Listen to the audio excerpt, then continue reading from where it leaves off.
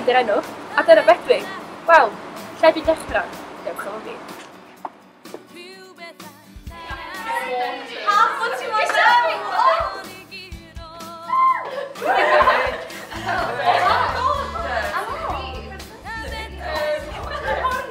Lle oeddwn ni dydwch? O ia, fi ydy captain y tîm Helrod, captain y tîm hoci, brenhinau sy'n dawns chweched, un awdydd y cor ac wrth gwrs, fi ydy prif yr ysgol.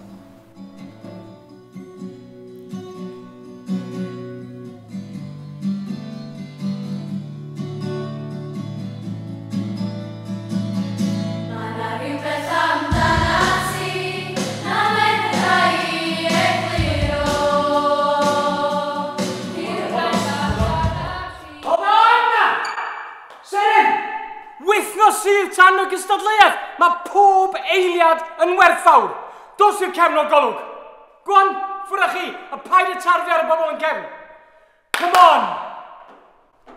Gweiddi na fi o flaen pawb. Y fi, codi cwilydd arnau. Pwy mae o'n feddwl ydio? Gawn ni weld.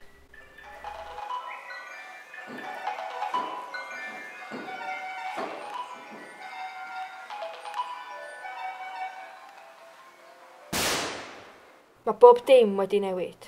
Dwi wedi colli capteiniaeth o'r tîm pelroed, y tîm hoci. Dim fi fydd brenhines sy'n dawns chweched, ac yn waith na hyn i gyd, dim fi ydy prif ddisgybl yr ysgol. Be dwi wedi wneud? Ro'n i'n arfer ei pharchu hi.